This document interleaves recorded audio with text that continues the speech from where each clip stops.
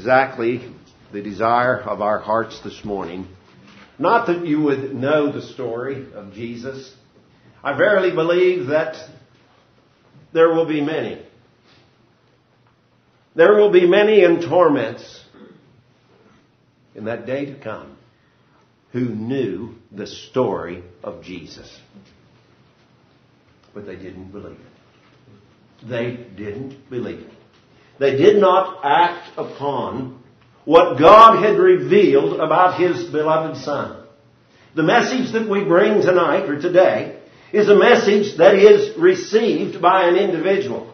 It is not just a message about a person, but it is a message that must be received by you, that you might have life.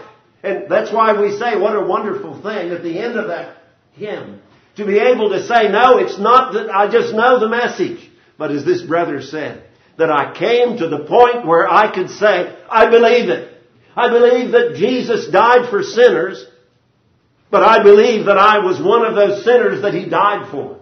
I believe that He took His place on Calvary, that men might be set free. But I also believe that I was a man that needed to be set free. And believing on Jesus Christ will set you free. We want to tell you that tonight. We want to echo that word or today. That's the message of the gospel. Now, if you weren't here, and I know there's some that weren't here, I want to recap a little bit about what we've had the last couple of days. We saw on Friday evening, we saw a man, not unlike you if you don't know the Lord Jesus, that was condemned to death. This man had no hope. This man had been sentenced to die. And we saw on Friday evening that this man crucified beside the Lord Jesus on one of those three crosses. This man turned to the Lord Jesus at the last moment of his life.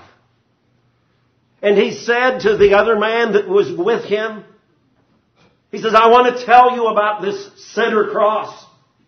I want to tell you about this man on that cross. He has done nothing amiss. But you and I,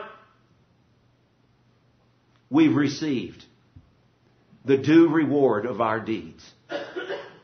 We've lived a life of sin. And we talked Friday evening of choices of decisions, and of consequences. Eternal consequences. Not just consequences that affect man in time, although they do. Oh, we say to young people, Satan is a terrible taskmaster. He's a terrible one to serve. I saw a sign in southwestern Virginia just a couple of days ago Many of you, especially young people, will be aware of the makeover artist. And how they take someone who's perhaps in the eyes of the world just plain and they make he or she quite glamorous. The news was a bit different on this. It was an illustration of the drug culture and the makeover of four young people. And it was desperate to see the tools, the instruments that Satan uses to keep boys and girls and men and women from coming to the Savior.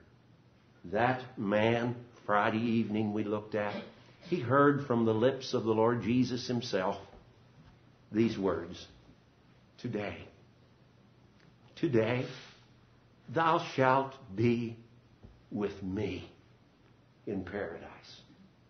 Now, I want to tell you something tonight. It isn't an accident, and it, is, it isn't a chance that you happen to be in this building today where the Lord Jesus presents himself in the way of the gospel. I don't believe in a God of chance. I don't believe in luck and these things that people happenstances. It just happens that way. But I verily believe that God works in such a way that men and women and boys and girls hear the news of the gospel. And you become accountable for what you've heard. A day of accounting, a day of reckoning comes. Now I want to ask you as we begin this meeting, were today, were you ushered out into eternity? I know you don't think that will happen. You see, the enemy of our souls makes us think that in fact th- those things happen to other people. But what if today? What if leaving here today on 495 or one of the roads around here, what if suddenly you were taken into eternity? Where would you go? You see, the Lord wants you to face that today. Am I saved? Am I saved by the grace of God today? That's what this message is about. That man that we talked about on Friday night, he came in those last few moments of his life to realize the wonderful blessing of belonging to Jesus. Then we talked last night. We talked about an area last night that many people don't stop and think of. When they think of the Lord Jesus, they think of a man that was mutilated and beaten and crowned with thorns and put upon a cross and that's the last thought they have of him. That's not what scripture teaches me. It is not today a man that is crowned with crown of thorns. It is not the agony of Calvary that we see today when we speak of our Lord Jesus. But we speak today of a man that God has highly exalted. He has given him a name which is above every name. And do you know what God has declared? He has declared of his son Jesus that every knee is going to bow to him. Every knee. Are you part of mankind? You say, well, of course I am. Then I can tell you something. You will have an appointment. You will bow here by grace. Or you will bow there and not by choice. God has highly exalted His Son. We, we sang this morning in the meeting of how this blessed one glorified his God in going to Calvary, in giving his life. Many times people only know one side of the sufferings of the Lord Jesus. The passion of the Christ was mentioned the other night. I can tell you something, I never saw it. But I know this, that there's one side generally that is presented. And that is the side that shows me what man did to the Savior. There's another side. There's another side to the sufferings of the Lord Jesus. What man did to the Savior, do you know what it shows? It seals the guilt of man. That they took the Son of God and they nailed him to a cross. They treated him awful. But I'm going to tell you something. I'm not saved because of what men did to the Savior. There's not anyone in this room who is saved tonight because of what men did to the Savior. I'm saved because God judged him in my place. He became my substitute. He stood where I couldn't stand. He bore what I couldn't bear in his own body on the tree. And he today is the exalted man. He's the man of glory. He's the one that speaks this day from the presence of God to men and women on this earth. And he points back to his work. He points back to Calvary. And he says, I'm going to give you another opportunity. I died for you.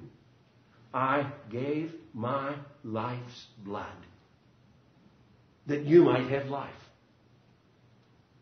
And now I present myself. He says, I reach down.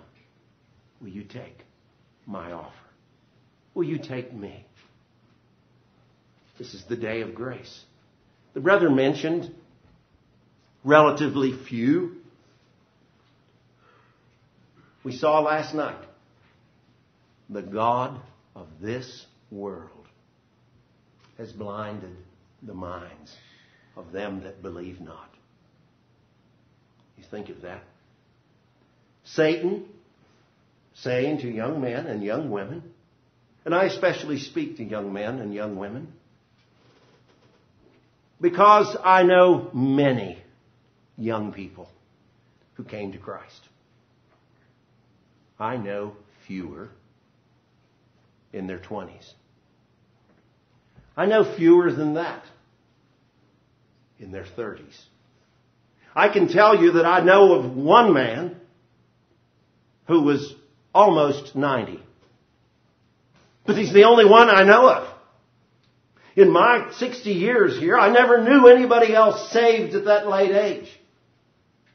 Remember now thy Creator in the days of thy youth, when the evil days come not, nor the years draw nigh, when thou shalt say, I have no pleasure in them. What does that mean? I'll tell you what that means. That means that sin hardens man's heart. Sin hardens the heart of man. Do you know what else hardens the heart of man? Hearing the gospel hearing the presentation of Christ and not responding, hearing and not coming, hearing and not doing. And pretty soon, I, I, at least I think it's like those who lived in the days of Noah. When men lived and went about life, just as though there was never going to be a flood. Don't you think that they probably thought that Noah was one of the most ridiculous men in the world? Come on now. You're telling me there's going to be a flood and you're out here building a boat and we've never seen rain. We've never seen rain. And you're talking about judgment. And for 120 years, Noah preached to man. Do you know how many were saved? Just Noah and his sons and their wives. That's all. Do you know what finally happened? The day came the day came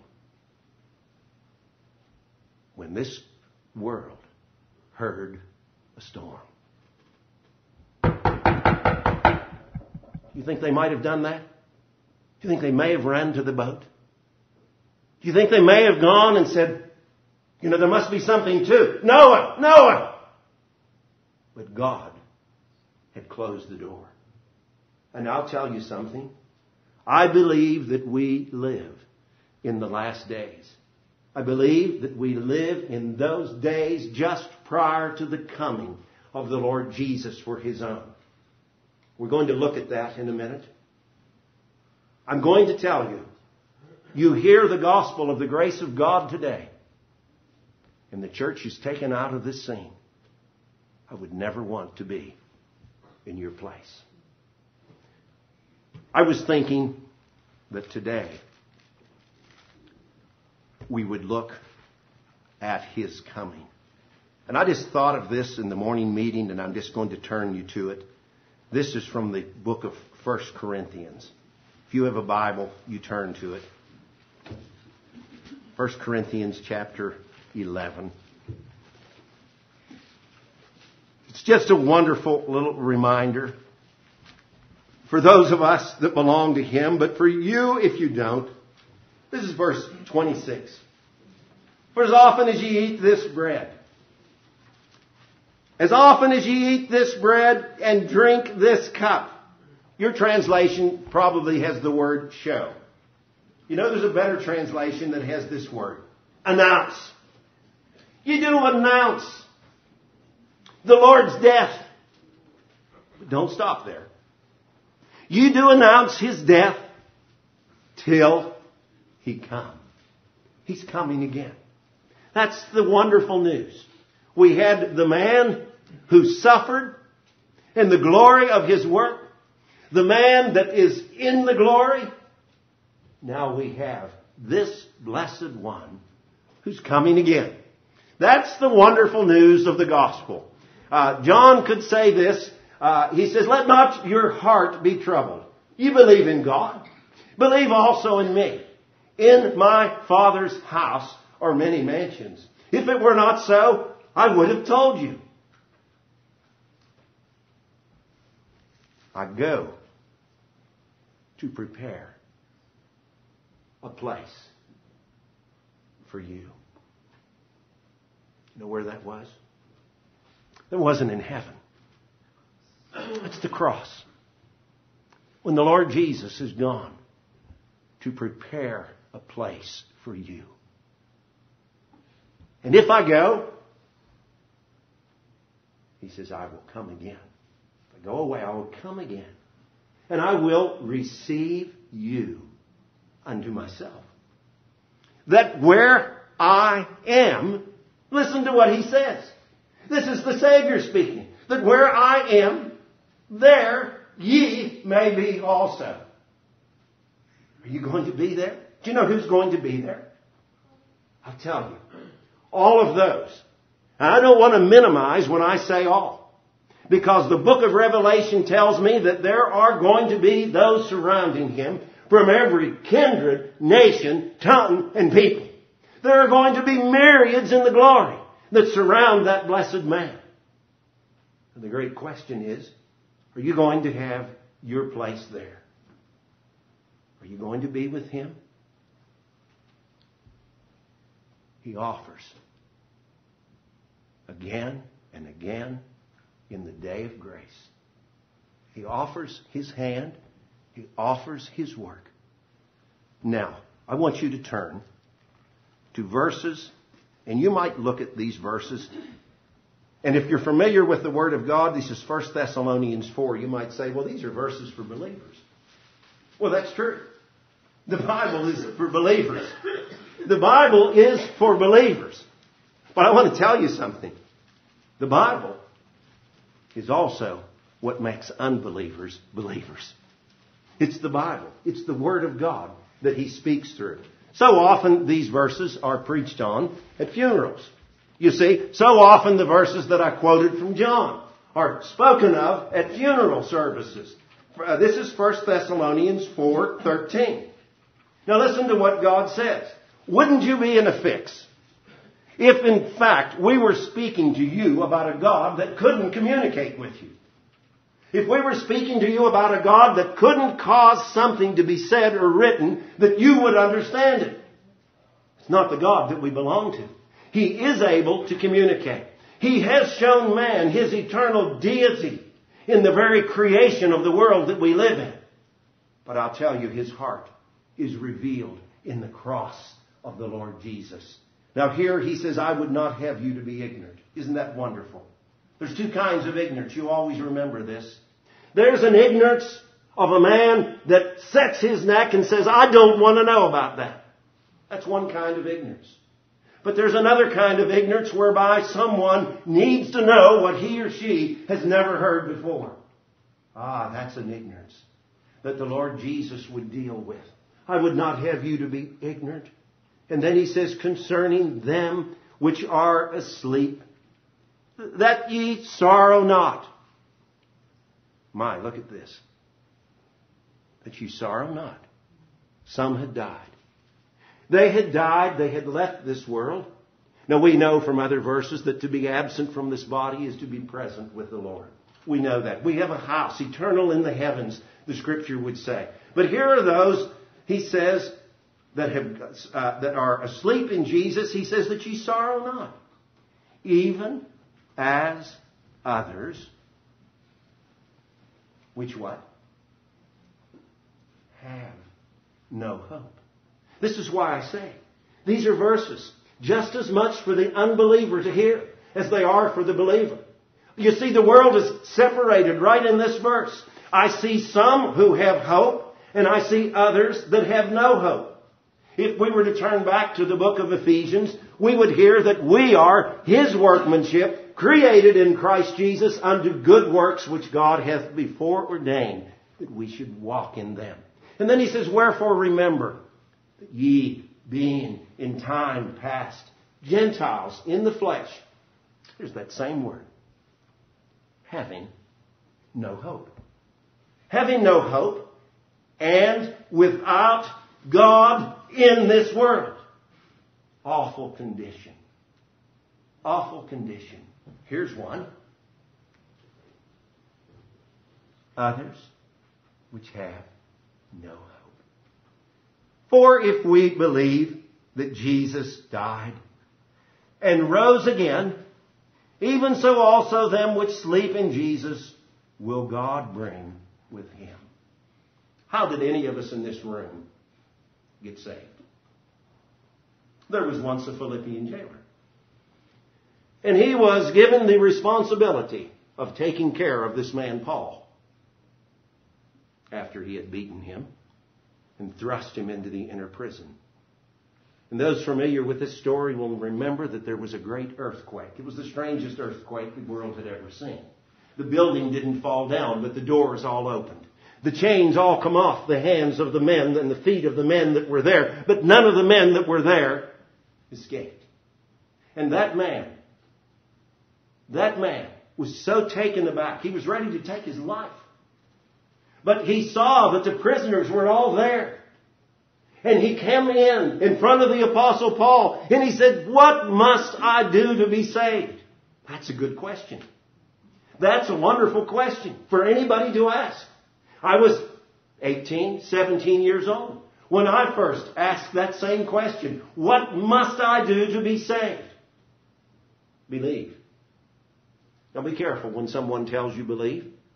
They may tell you about some prophet that died and is still dead and his bones are still with us. They may tell you about the works of man. They may tell you to go to Sunday school and do good things and you're going to be alright. It's not, in fact, just believing, but it's what you believe. It's who you believe in. Believe on the Lord Jesus Christ. Believe on the work that He has completed. Believe in Him. Put your faith and trust in that person. Receive Him into your heart. And we can tell you, you will be saved today.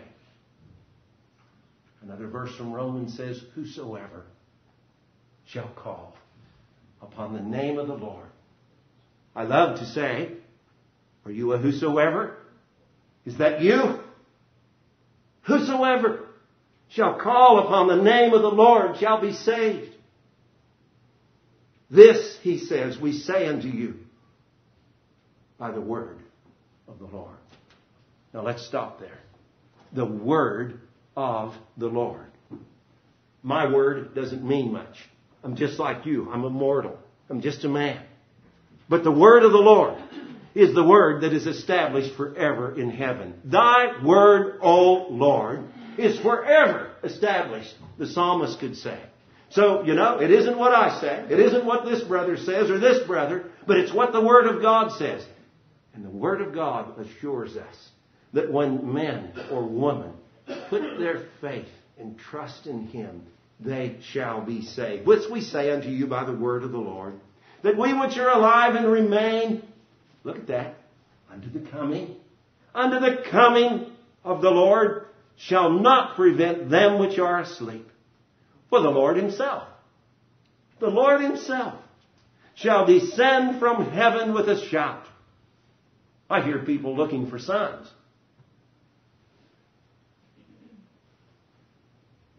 You can see all kinds of signs in the world that we live in. I don't think that I would have to prove to you that this is a wicked world. But I'm not looking for a sign.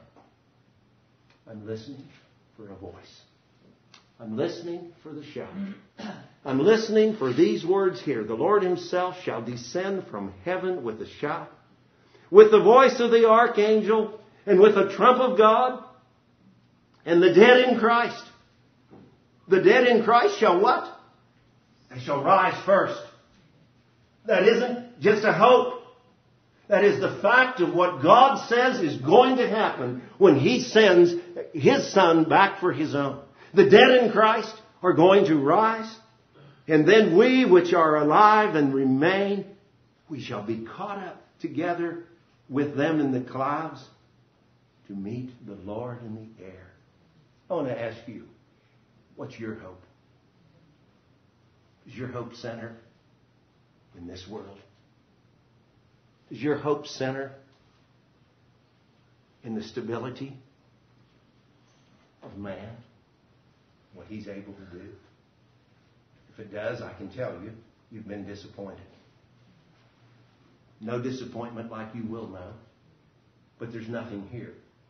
The great insurance company, I think, I can't remember which one of it was, but they used to say, solid as a rock. Only to find out that they had problems in their investments and what they thought was solid was not solid at all. And pretty soon it was gone. And we live in the wake of Enron and all these people who were looking and depending upon all of this that a company would be able to give. Boom, just like that, it was gone. Just like that, it was gone. Listen, there's nothing here. There's nothing abiding here. We want to tell you that. He says, to meet the Lord in the air. We're in 1 Thessalonians 4, if you have a Bible. To meet the Lord in the air, and so shall we be. So shall we ever be with the Lord. And he says to believers, you comfort one another. You say, there may be the occasion when you're with someone who has lost a loved one.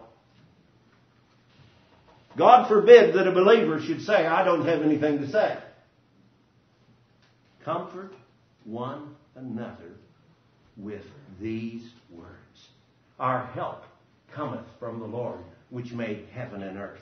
We have His Word. Now, the great question in the gospel meeting this morning is where do you stand in relation to Him? Is He your Savior? He can be. He wants to be. He invites you, we said last evening. He takes for a young man, a young woman, He gives purpose. He gives direction. He gives hope. He gives all of those things that men and women and boys or girls are turning everywhere in the world looking for it. And they have one thing in common. They all leave disappointed. They can't find anything that will answer the questions they have even as to time, let alone eternity. Now, I know our time is just about gone, but I want to turn you over to the second book of Thessalonians. And I just want to leave some verses with you, speaking to those, and you're not saved. And you're thinking of the stability of this world. And you've heard me say that Jesus is coming. He's coming for his own. Do you have any idea what kind of a world you're going to be left in? Have any idea? Second Thessalonians 2, verse 3. Let no man deceive you by any means. For that day shall not come, except there be a falling away first, and that man of sin be revealed, the son of perdition Listen to what he does. He opposes and he exalteth himself above all that is called God or that is worshipped, so that he, as God, sitteth in the temple of God, showing himself that he is God. Look at this. Remember ye not that when I was with you, I told you these things, and now ye know what withholdeth you look in the margin and you'll see there, it's what hindereth. What withholdeth that he might be revealed. For the mystery of iniquity doth already work. Only he who now letteth or hindereth will hinder until he be taken out of the way. I'm going to tell you what those verses mean. Those verses are a direct reference to the Spirit of God. You may live in a world where you think good politics is what is keeping peace in this world that we live in. You may look at the election the other day. I don't know whether it went the way you wanted it to or not, but you may be talking about men and politics that are able to bring peace in this world. I'll tell you what is withholding. The Spirit of God is the one that is withholding in this world that we live in. He lives in the church. He lives in the hearts of believers. And the day is coming when he's going to be taken out. Woe be to those that are left here. Woe be to that young man, that young woman, that family that has said no to Christ. And the church is taken out. And you are left here. He says, Then shall that wicked one be revealed, whom the Lord shall consume with the spirit of his mouth and shall destroy with the brightness of his coming. Even him whose coming is after the working of Satan with all power. You may have thought of power in the apostles. You may have thought of power in the disciples. You may have thought of power at the beginning of the church age that we live in. God's Word tells me that power is going to be evident at the end of the church age. What does it say is going to happen? There's going to be power, and there's going to be signs. Oh, but this is something different. It's not just wonders. It's lying wonders. There's going to be a man that is going to be here upon this earth and the world is going to flock after him. They've rejected the Savior. They're going to go after this man. You will be one of them. Listen what it says. With all deceivableness of unrighteousness in them that perish because, because what? Because they receive not the love of the truth. That what? Read that. Read it. You read it for yourself. That they received not the love of the truth, that they might be saved for this cause. For this cause. God shall send them strong delusion that they should believe a lie. That's the world you're headed for. That's the world. If you don't know Jesus, you're headed for this world. That you would believe a lie. And what does God say? That they might all be damned who believed not the truth, but had pleasure in unrighteousness. Oh, I tell you, there's no future for this world. There's no future for the man of this world. Our future lies in the coming one. It lies in the man of Calvary. It lies in the one that has taken our place in death. This is the day of grace. We're still here. Gospel preachers can still preach the gospel. We can still say, come to Jesus. But you know what we can never do? We can never bring you. You must come. You must come. You must personally, individually, weigh what God has revealed and you must. Billy Graham's program used to be called the hour of decision. You must yourself examine, as Steve set before us, this one, and then what we would trust. That you would say, you know, I've had enough of this life. I've had enough of what this world has to offer. And I would like to give my life to Jesus. We want to help you if you would like that. I'd like to sit down with you and pray with you, open the scripture with you again. Others here would. But we shift the weight, the burden, the responsibility from off our shoulders onto yours. Will you also be his disciple. That's what the man of John 9 said. And we ask you that tonight. Will you be a follower of Jesus? Will you come to him? We're going to sing a hymn in closing, and we're going to tell you that there's a lot of us here that are going to be standing over here, and we'd like to talk to you.